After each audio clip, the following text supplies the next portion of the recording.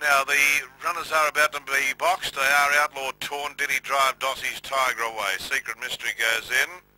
Subject win ready, green light. Bunny on its way. Here we go for race five. Set and ready, racing, she can say begin okay, and so did Money Talks, Outlaw Torn on the inside. They were followed by Diddy Drive, Dossie's Tiger. Further back now was Secret Misty, Subject Win, Flying Nevada. She can say by four. Outlaw Torn is after it now, followed by Money Talks, Diddy Drive as they turn.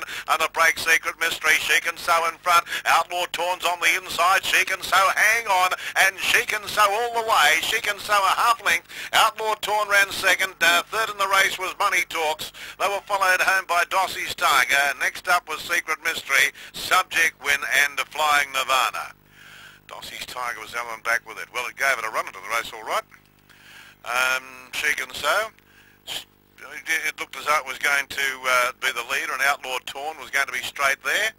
That's exactly what happened. The other thing was that can say stuck on too well.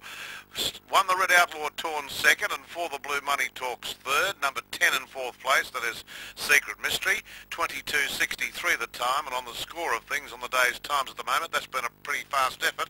Three quarters by one and a half. Three quarters